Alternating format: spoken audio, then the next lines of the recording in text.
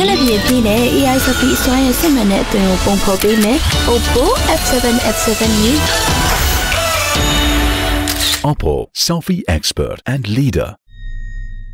protect a particular species. ဒီချိန်တော်ဝင်မင်းသားဟယ်ရီဟာမင်းကုန်းပြောနေရင်လည်းကြားတုတ်တာခံခဲ့ရပါတယ်။ဒါကင်ကန်နန်းတော်ရဲ့အထူးချက်မှတ်ထားတဲ့လုံခြုံရေးစီမံတွေဟာမင်းသားဟယ်ရီနာချင်းကပ်သွားတဲ့ကြားရကောင်ကိုတော့မတားဆီးနိုင်ခဲ့ပါဘူး။မေ22ရက်ကနန်းတော်ရဲ့ဥယျာဉ်ဧရိယာထဲမှာ သူ့ဖခင်ရဲ့အသက်80ပြည့်မွေးနေ့အကျိုးရန်မုံငွေပွဲစီစဉ်တစ်ခုကိုတက်ရောက်မင်းကုန်းပြောချိန်မှာဟယ်ရီကိုပြတုတ်ခဲ့တာဖြစ်ပါတယ်။ဟယ်ရီဟာစိတ်နောက်ဆက်ဖြစ်သွားဟန်နဲ့အဲ့ဒီပြားကိုလက်နဲ့ခါထုတ်ခဲ့တာကိုလည်းတွေ့ရပါတယ်။မကြသေးခင်ကမှအမေရိကန်ရုပ်မြင်သံကြားတရုတ်ဆောင်မင်းသမီးမီဂန်မာခင်နဲ့လက်ထပ်ခဲ့တဲ့ဟယ်ရီယာလိန်လောင်တဲ့ဘဝနဲ့တော်ဝင်မိသားစုခမ်းနားတစ်ခုကိုပထမဆုံးချိန်တက်ရောက်ချိန်မှာပြားထုတ်ခံခဲ့ရတာလို့ဗြိတိန်မီဒီယာတွေကဖော်ပြပါတယ်။ ဟယ်ရီကလူ22ဦးသေဆုံးခဲ့တဲ့မန်ချက်စတာဘုံပေါက်ကွဲမှုတစ်နှစ်ပြည့်ထိမ်းမှတ်ဝမ်းနဲ့ကြေကွဲကြောင်းသတင်းစကားကိုလည်းသူ့ရဲ့မိန့်ခွန်းထဲမှာထည့်သွင်းပြောကြားသွားခဲ့ပါတယ်ရှင်။